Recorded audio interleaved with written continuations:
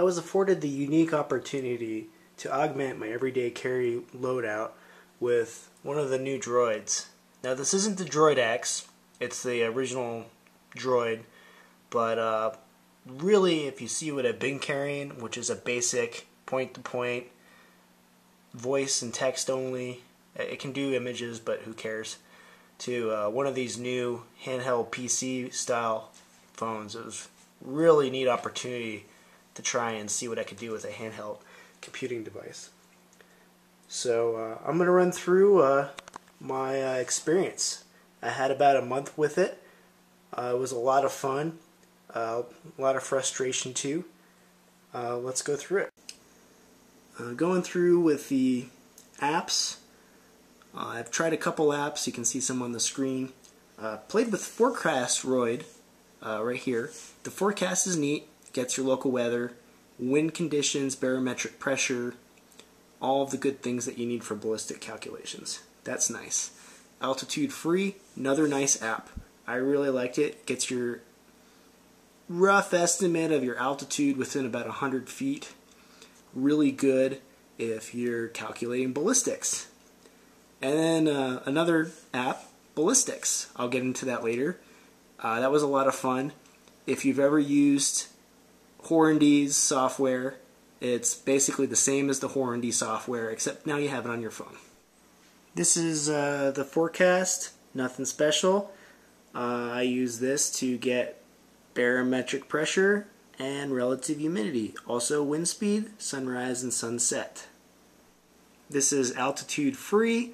Uh, if you let it run, let run long enough and you let the app have access to your GPS hardware, um, it will give you your relative altitude based on um, your GPS coordinates, and then there's also GIS, topographical map information.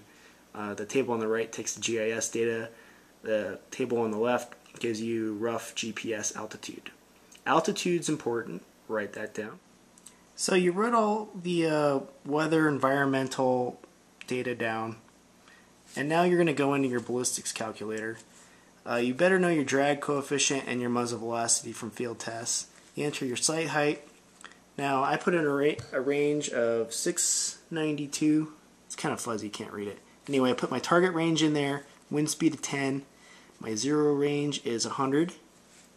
Now I wrote down the barometric pressure, relative humidity uh, from the weather, put those in there, wind speed from the weather, put those in there, temperature from the weather, put those in there, hit compute, and that's as fast as it goes. Now, uh, that's my MOA come ups. I don't know if you can read that. That's 25.67 MOA. So, my rangefinder told me that my target's at 692, and this gave me a solution of 25.6 MOA up. Uh, there's also point blank range calculations which you wouldn't need this for if you had PBR calculated. And then here's your ballistic drop table. This is really neat to have in the field. However, if you're a good Boy Scout, you've already done all that using uh, free software on the web. So basically, this is what a dope sheet looks like. Uh, these are for different loads, different zeros.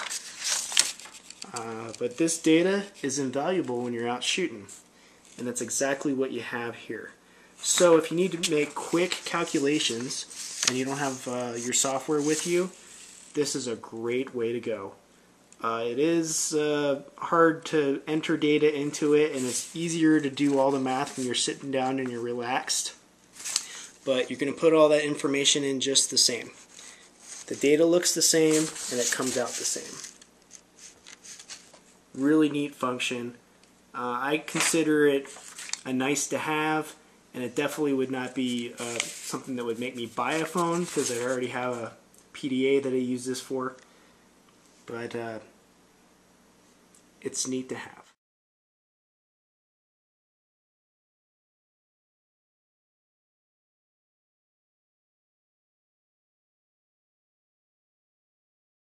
The guys and gals of gunwebsites.com encourage you to take a CCW class every year, practice at least once a month, and carry every day. Thanks for watching gunwebsites.com.